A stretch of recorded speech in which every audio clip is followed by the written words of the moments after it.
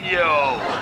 All other tropical storms must bow before El Nino. Yo soy El Nino. For those of you who don't habla español, El Nino is Spanish for the Nino. All right, well, despite being the punchline for late 90s sketch comedy routines or the main catchphrase for any major weather situation across the Americas in the late 90s, what exactly is El Nino? What happens when one occurs? And uh, what should you be prepared for if one was to occur? All right, everybody, meteorologist Robert Speta here with you today in this latest episode of Western Pacific Weather 101. We're going to explain just that. By definition, El Nino, or sometimes referred to as the ENSO or the El Nino Southern Oscillation, is a band of anonymously warm ocean water temperatures that periodically develop off the western coast of South America. Basically, it takes place when warmer waters from the western Pacific start to drift towards the east. Reason why we're actually doing this update today is because just recently the new U.S. National Weather Service uh, issued an El Nino watch stating they were currently monitoring a very warm pool of water in the western Pacific and seeing if it was going to drift farther off there towards the east. And if it did, that would bring the onset of one of these El Nino events.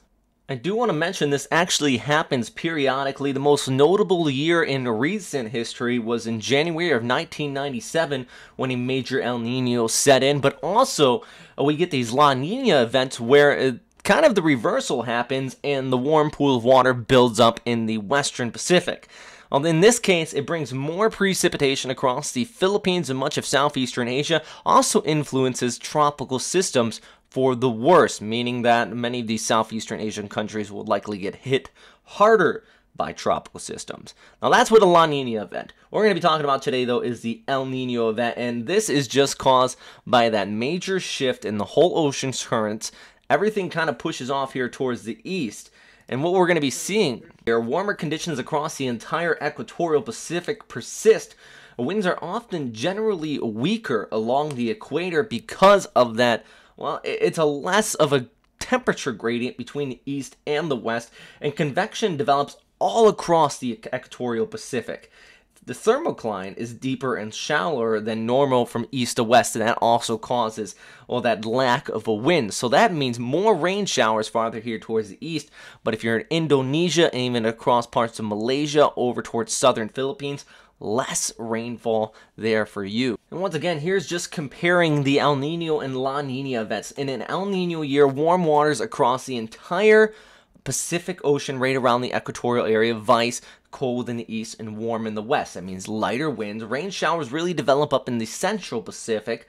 And what we are seeing is less precipitation farther towards the west because of the prevailing easterlies They're just less intense.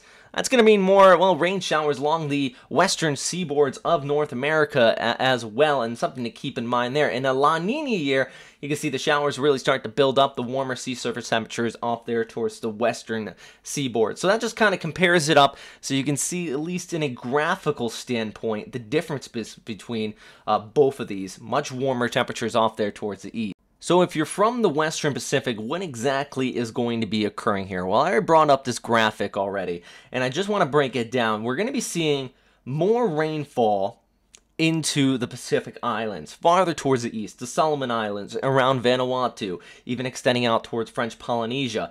Meanwhile, though, the Philippines would see less precipitation and a strong El Nino, El Nino year. The overall precipitation well below normal.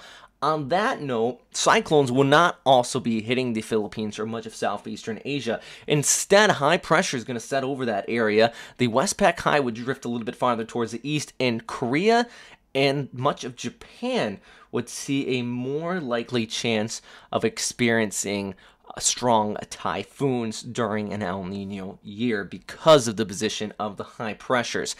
Granted, this is just what has happened in the past. It doesn't mean that's what would be happening this year. We would still have to see the onset of the El Nino to occur, but if a strong one did occur, uh, these are typically what would happen as far as climatology is concerned. That is all for right now, everybody. If you want more information on El Nino or La Nina events, please do go to meted.ucar.edu.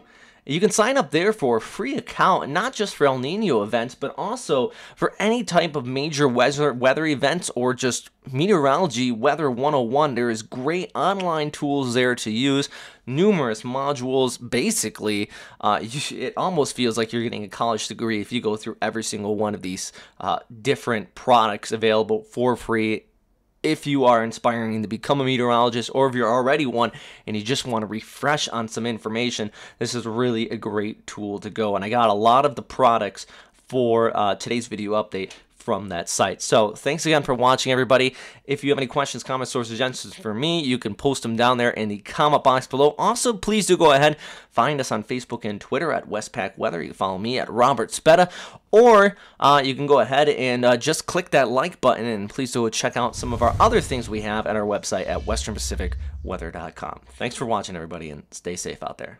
Bye.